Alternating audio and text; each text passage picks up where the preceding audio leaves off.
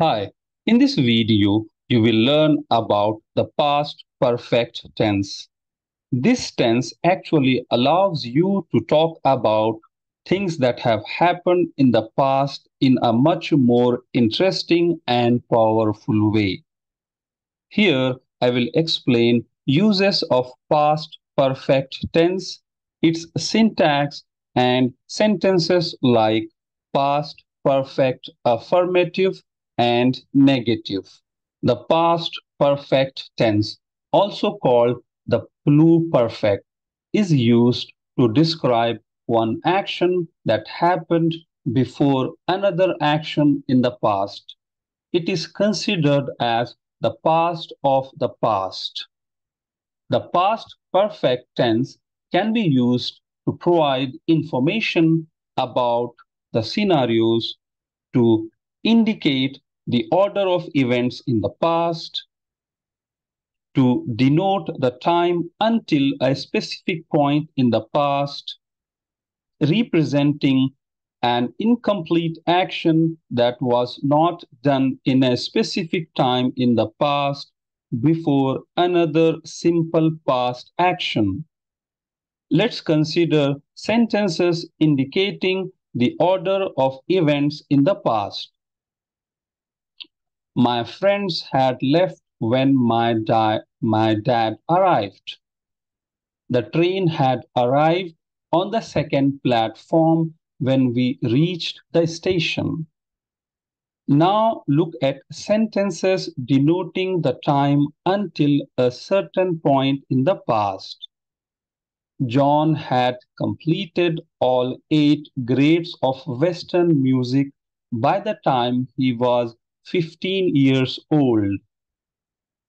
Had John and Zara arrived when I called you yesterday? Examples of incomplete action in the past. The students had gone for their games period before the teacher could inform them about the assignments they had to do. It was so unfortunate that John had died before the series was over. In the next slide, I will explain past perfect affirmative and negative. Past perfect affirmative sentence. A positive statement or generic sentence. Let's understand the rule or syntax.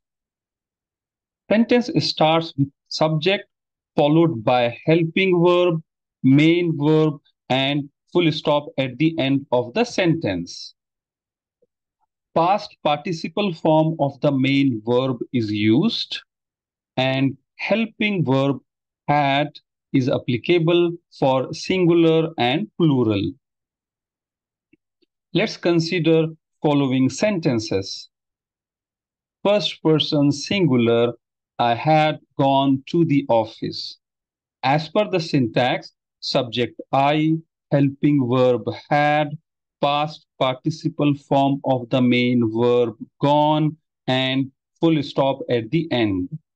Similarly, first person plural, we had gone to the office. Second person singular, you had gone to the office second person plural, you had gone to the office. Third person singular, he had gone to the office. In this sentence, instead of pronoun he, we can mention the name of the person. John had gone to the office. She had gone to the office. Let's specify her name in place of pronoun she. Zara had gone to the office. It had gone to the forest. If we are referring to an animal, let's say tiger, then the sentence will be Tiger had gone to the forest. Third person plural, they had gone to the office. We can mention the names instead of pronoun they. John and Zara had gone to the office. In the next slide, I will explain some more examples of past perfect affirmative sentence. Examples of past perfect affirmative sentence. I had completed my work when my parents arrived. This sentence indicates the order of more than one past event. John had read all the Harry Potter novels by the time he was 15 years old. My brother had solved five math problems before I completed two. The place had closed by the time we got there. He had brought all the documents when you reached. We felt sad that the movie had already started before we got there. My father told me that we had met John already, but I don't think so. When we were in college, we had performed this song live. My friend John had already watched the movie before we met. Past perfect negative sentence.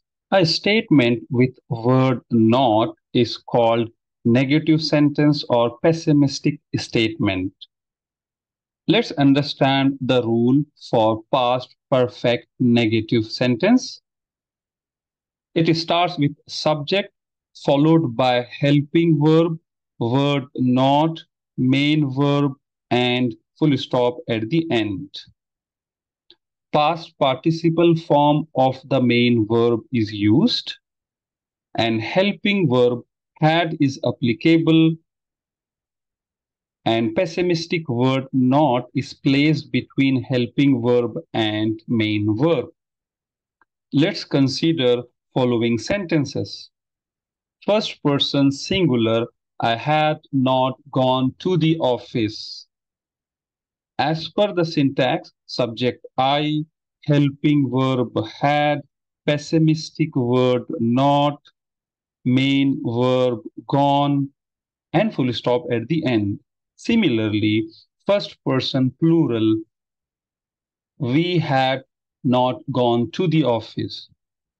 Second person singular, you had not gone to the office. Second person plural, you had not gone to the office. Third person singular, he had not gone to the office. In this sentence, instead of pronoun he, we can mention the name of the person. John had not gone to the office. She had not gone to the office. Let's specify her name. In place of she, Zara had not gone to the office.